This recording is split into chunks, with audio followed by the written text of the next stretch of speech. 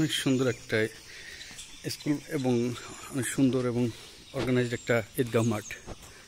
পাশে বাদাঘাটা মডেল সরকারি প্রাথমিক বিদ্যালয় এবং এটা স্থাপিত উনিশশো সাঁইত্রিশ সালে।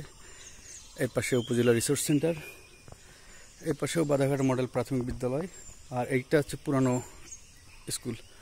এই মাঠে আমরা কত খেলছি। যা খেলতাম এই শিশু গাছে বল বাঁধত।